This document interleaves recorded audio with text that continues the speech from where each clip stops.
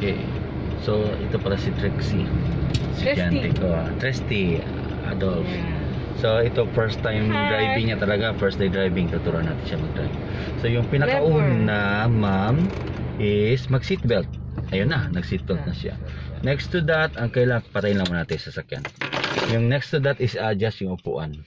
Paano sir? Ah, dito sa harapan natin, mayroon tayo diyang iaangat. Pero ay. yung isang kamay nandito sa manibela para hilain mo yung katawan mo. Paano ang pag ano nito? Ay, Ihilain mo yung katawan mo, steady mo angat yan. Ayun. Sige pa, lapit pa, kulang pa yan. Sige pa, sige pa, kulang pa yan.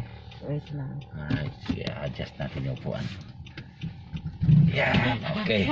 Okay na. Ayan. So, Yan ang maliit na babae. ayan na. So, alam mo, bagay na bagay siya dito kasi ma- malaki yung sasakyan, ha? Wow. Cute kasi ang babae na malaki yung sasakyan ng dinadrive. Ah, Ngayon, ganito na. Um, dala-dala niyo na yung susi, ma'am, no? So, itong susi, ipasok mo yan dito sa may. Hihingi na lang ako ng kopya session. ha. Isasaksak mo yan dyan. Oo.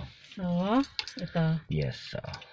Pagkatapos, bago mo yan ipaandarin, sipain mo muna yung pinakakaliwa na pedal. Ang Ito. tawag dyan is clutch. Ito. Oo, clutch pedal. Then, Pinakamalalim, ha? yung Tapos yung sagad na sagad. sagad na sagad siya sa malalim. Mhm. Yung isang kapaa mo sa kanan, apakan naman yung preno. Yun yung sa gitna. Ito. Oh, yes. Steady yan. Oh, so, Habang ginagawa mo yan, paikuti mo yung susi. Yan. Pag nakarinig ka ng sound, bitawan mo. Bitawan na. Oh, Umaandar na yung sasakyan. Pag umandar na, pwede mo na kunin na yung mga paa mo. lahat. Lahat pwede na.